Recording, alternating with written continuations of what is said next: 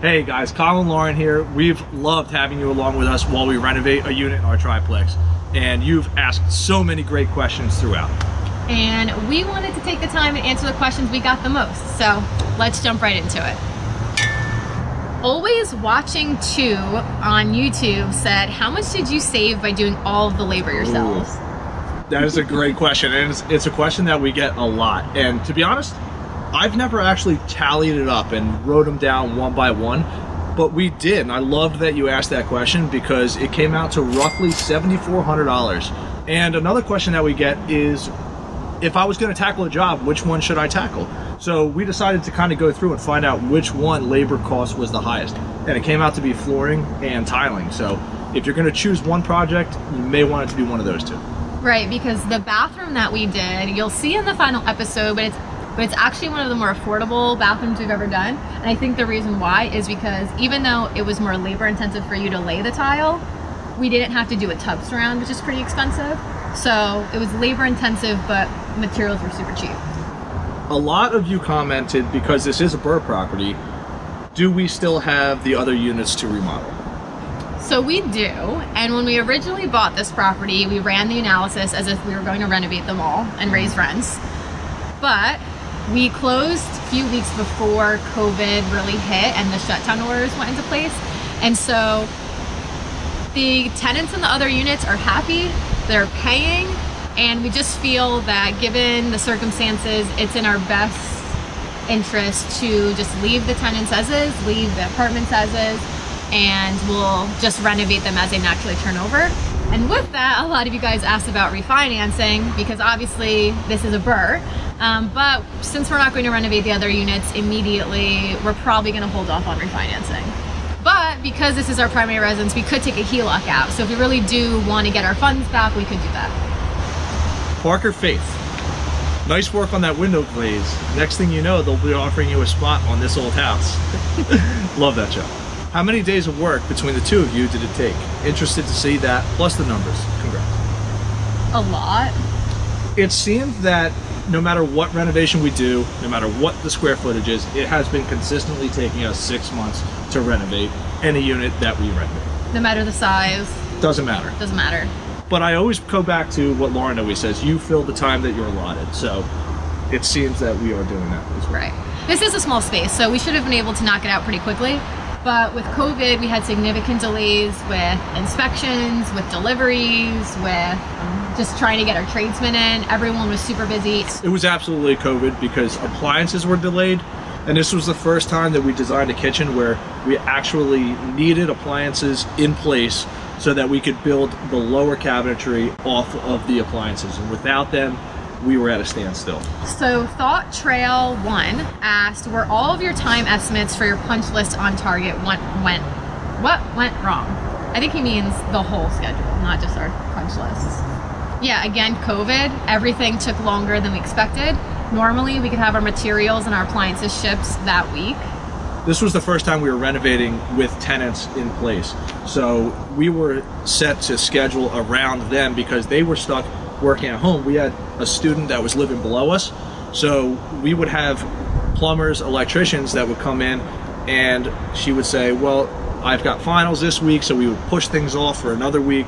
And it was working around their schedule as well because they couldn't go anywhere else. They were stuck home. So definitely, this was the first time we've ever renovated a property while tenants were living in other units in the same building, and we tried our best to schedule around their schedules and be as quiet as possible. But unfortunately, when you're demoing plaster walls, it could only be so quiet. And my tradesmen love to blast the radio. I mean, every day, every day I tell them. Lauren Bonner asked, what's the name of the floor you used? We love um, NuCore flooring from Floor & Decor, and the color is Driftwood Oak. Okay. Ooh, this is a good question for you. Okay. And I think we should do a video on this. Nick Sheld on Instagram said, what tools would you recommend I get first? The most universal for basic fixing. Belt aside, because that's another video. Tool-wise, I would most definitely say a good miter saw, a good table saw, and one of my favorite is a flush cutter um, which is a oscillating saw and I just use it constantly especially in these old houses with plaster and lath the sawzall just doesn't cut it gotta get the oscillating saw flush cutter it's worth its weight in gold. I like the flush better. Yeah. What's your favorite platform? DeWalt, for sure. Ooh, here's a good one for you. Chris Jules Beck asks, do you use the 1% rule? Okay, so this is interesting because when you invest in New Jersey, all these rules don't really apply to you. Our taxes are so high, if we did the 1% rule, we'd never cash flow. Yeah. So we kind of have like the 2% rule, if you will, but I we don't even look at it. We look at cash flow and cash on cash return. It's come to the point where that's all I ask. What do you cash flow? You can tell me how many units you've got, but what do you cash flow? Sean and Jess Invest ask, how do you balance working with your husband and shutting off real estate for certain times? we never shut it off. It's always on. Yeah, so I'll say It's a that. hobby. I'll say that. One thing that I love about working with my spouse is that I really do think it has brought our relationship to another level that's not possible if you guys are not working towards a common goal together. We're so passionate about this and so passionate about our goal and what we want our life to look like that it really is fun for us. We used to joke that we would suck on the amazing race because we would just get stuck at the starting line and argue the whole time. We would never leave. But surprisingly, we work super well together. Yeah. Um, we are complete opposites in a lot of ways, which you could probably figure out. And because of that, it has made running a business super easy because there are things I'm naturally good at, things Kyle is naturally good at, and has kind of created our own lanes.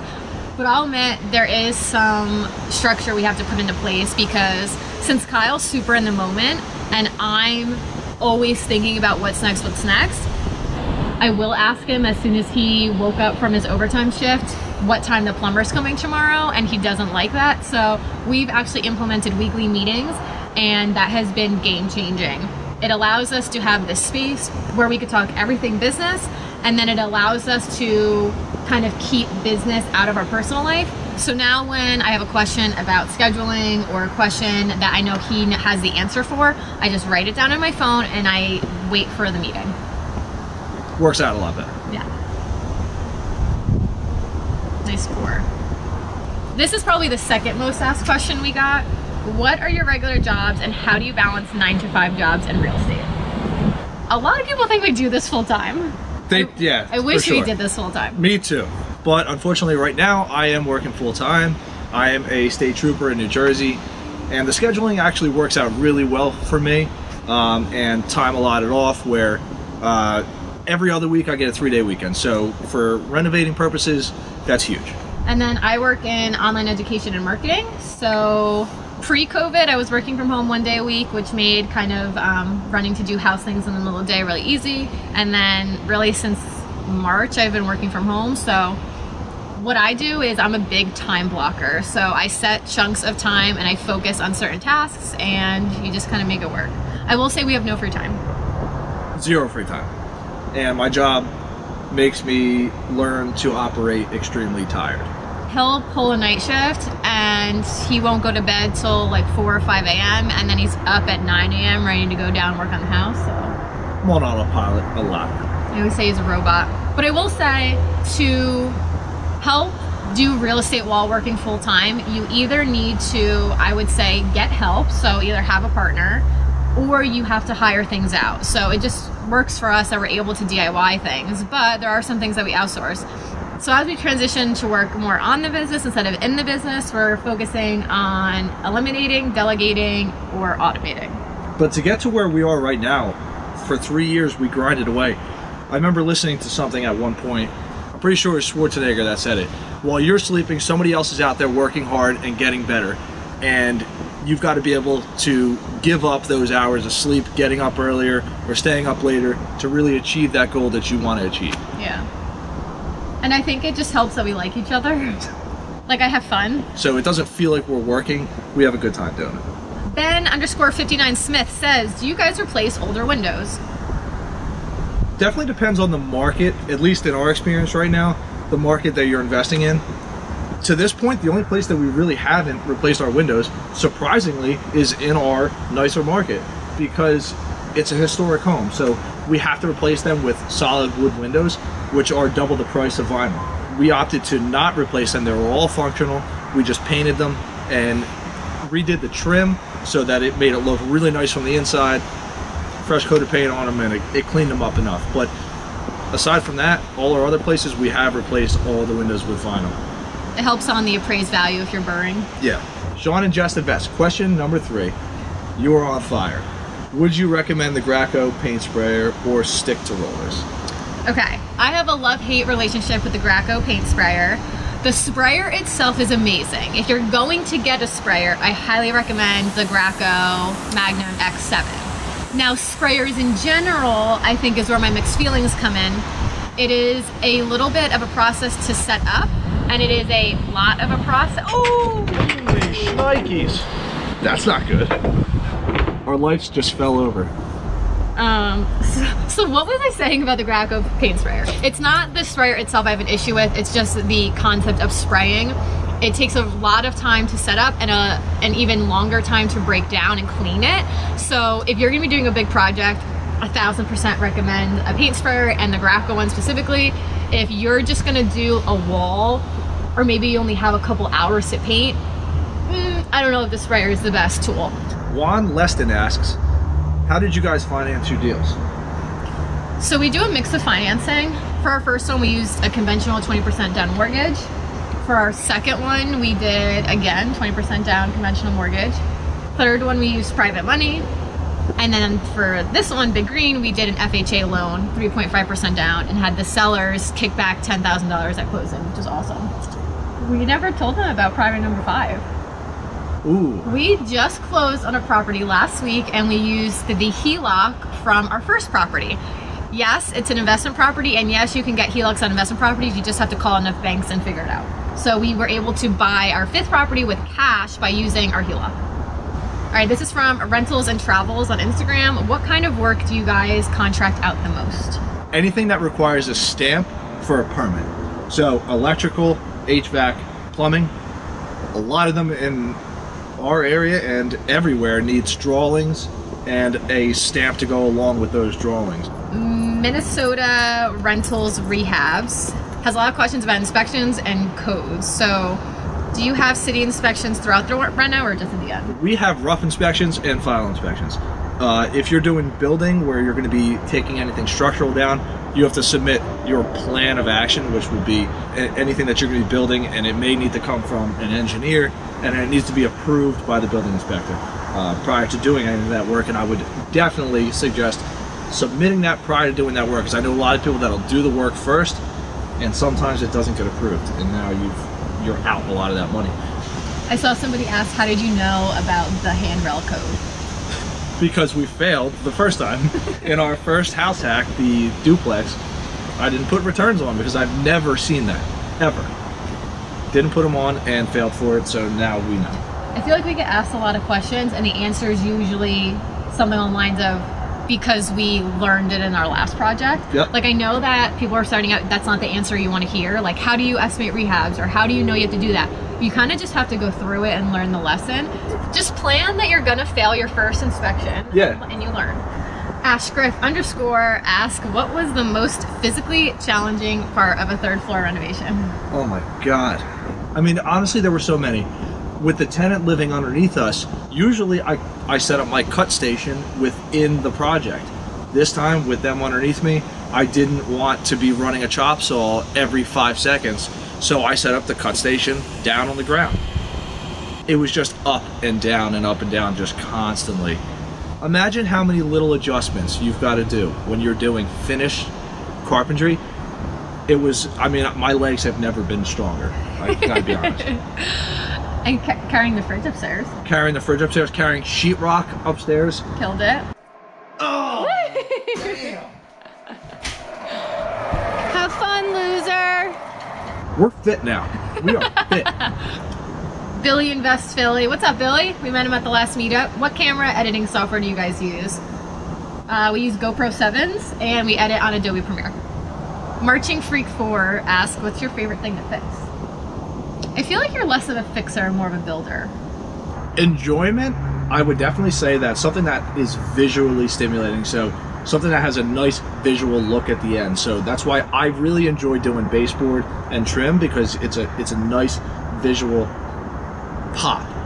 especially after we do our flooring and the wall paint, and then you get that nice pop of white baseboard. And we've fallen in love with that tall baseboard now.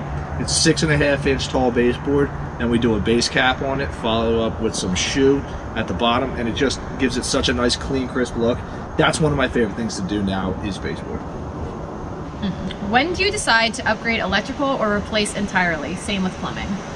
electrical, we'll start with that. We decide to upgrade electric when we look at the panel and it's out of space. For this unit, we wanted to add a furnace. We did not have enough electric to add that furnace. So we had to upgrade the electric. And when you do that, you then need to bring all of the other electric panels up to code. So it was a slippery slope, but in the long term, because this is a buy and hold for us and we self-manage, we want to get all that those capex items which we harp so strongly on up front. Just get them out of the way so you never have to deal with them again. Plumbing, I would always suggest if you have cast iron or galvanized piping to extricate all of that at the beginning while you have either walls opened up or no tenants in there because it rots from the inside out. So long story short, because we invest in older homes, usually when we're buying the house, all of the plumbing and electric is old. So we would rather just upgrade it and switch it out now while the unit is empty than have an issue with a tenant inside later on. Mm-hmm. Since we self-manage, like Kyle said, I don't want to get the calls. So if you just replace everything, you won't get the calls. Are you freezing? I'm shivering a little bit. Oh my gosh, I want some blanket? No, I'm okay. Come on. Hey, hello, asked, what kind of holding setup do you use? LLC, trust, etc. Right now, we hold everything in our name. We feel that for our strategy currently and our situation right now, that's what we're doing. We are not ignorant to the benefits of having an LLC, so it is something that we're going to look into as we grow. But we do have an umbrella policy over all of our properties for asset protection. Can I try? Yeah. Oh, I like this one. Kalua Boy or Kaloa Boy asked, at what point did you choose to start looking at other deals when renovating Big Green? The day after we closed. Always looking to grow. So I, while I like renovating, that's Kyle's special place. I would say my special place is finding and analyzing the deals. Yeah. So as soon as we close, I'm on to the next one. Yeah, I love it, and that's just another aspect of why we work so well together because because we are in that growth period of our portfolio. It's exactly what we need. While I'm focusing on the now, she's focusing on the future. Mm-hmm. I agree. Make a good team. Guy named Austin. What's up, Boston? What is your process for determining rehab costs? Any great resources or books? I'll start with our duplex. we had none. we had a scope of work, but we didn't really hard and true have numbers down and stick to a budget. We had no idea what we were doing. No idea. But since then, what we've done is used the same materials over and over again. It's an easy, easy way to set yourself up that you know when you walk through a property exactly what your budget is going to be. You know what materials you use because you use the same ones over and over again. It also, if you're going to self-manage, if something breaks, you know exactly what model or paint SKU Yeah. or whatever that thing is because you use it and never use. Mm-hmm. So we have a big list of all the materials we use and how much we bought it for, and then this is how we know if prices are going up or down. For example, our appliances this time around were so expensive. You're gonna see in the next video our cost breakdown. We went so over budget on the kitchen because the appliances were each piece was 100 to 200 to 300 dollars more per piece Yeah. because of supply chain issues with COVID. And what to what Kyle said, using the same items, you also use the same tradesmen. So I know this is hard on your first property. We know how much our plumber charged to do certain things, so we can look moving forward. Okay, this is going to cost this much. Which is why we will preach forever that your first deal does not have to be the perfect deal but it's a jumping off point to get those those relationships started and to get those numbers in your head to start building towards future property It's a learning experience. Just treat it as that, and you'll be fine. you think they can see me You are shivering. Shelts025 asks how many doors is your goal So this changes a lot. When we first started, we wanted 34 doors. yeah We wanted 34 doors by like 2040, and then we wanted to spend the next 10 years paying them off. So we had 34 fully paid for properties by the time you had to retire at 55. Yeah. think, right? Yep. Well, real estate's fun, and our goals have since changed and expanded and grown. The lights are gonna fall over again. Oh, okay. Um, but real estate's fun, and we're sucked in, so our goals have changed. One thing that I will say, not only has our goal increased, but we've also are now looking at it a different way. So instead of how many doors do we want, it's how much cash flow do we want because I'd rather have a small but mighty portfolio where we're having where we have less doors and cash flow more than just having a lot of doors only cash flow a little. That only cash flow a little. So, but to answer your question, our new goal is by 2030, we are going to have $20,000 a month in cash flow after setting aside money for reserves. So, and that about equates to 45 to 50 units for us. Kenny Green Zero asks the best steps to take for getting quality tenants. I've always heard, and we absolutely renovate by renovate for the tenants that you want. All right, weird properties attract weird people. So when we renovate, we renovate within budget to a place that we would want to live in. So that would be my best advice. Make it a place that you would want to move into.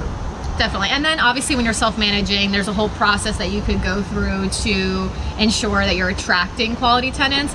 Um, and a good book for that is Brandon Turner's book, Managing Rental Properties. It's the yellow one. I highly recommend that.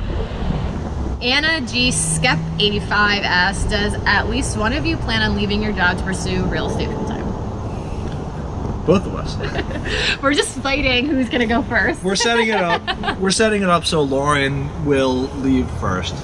Um, because she does the management and we're growing our portfolio, any maintenance calls or anything like that, she's taking. And I'm more in the renovation plus managing of subs and maintenance men. So we kind of have a good system set up, but it's more important right now for Lauren to be the one to lead first. Right, because I'm also focusing on finding deals. And Yeah, that's what's important for growth. correct. And we want to start having a family soon, so it would make sense that Yeah. I'd be home. Raising kids, raising capital. Sounds like a new book. Ooh, I like that. Eric Ledesma, great question.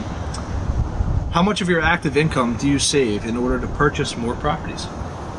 I would say about 20%. I would say I would say about 35% of our take home pay Yeah. goes towards buying more real estate. And then we have yet to take a single dollar from any of our properties. All of the cash flow we make goes towards buying new properties or renovating them. and setting reserve accounts aside. Nanduan asks, I'm probably butchering these names. I so apologize. How did you find the Marky Mark deal? That's an awesome question. So Marky Mark is property number five. If you follow us on Instagram, you know that we give all of our properties a name. This one has a great story, and you're just going to have to check out for a future video to get all the details. Another really common question we got is just any advice for newbies, and we alluded to this a little bit before, but I would say just get started, take action, and do not get stuck in analysis paralysis. Every time you do something, it's going to be the first time you do it, and it's going to be really scary. And the only way for it to not be your first time and to not be scary is to do it. I know that might seem a little counterintuitive, but you just have to take action and, and push through the fear because it doesn't get any easier. You just have to gain more experience. You got to just jump into it for real. It was it's how we did it and it's how a lot of people out there did it. Just get started, get that first deal under your belt and what you thought was a huge problem a year down the line you're going to laugh at and just be like, "Wow, I can't believe that that was stressful."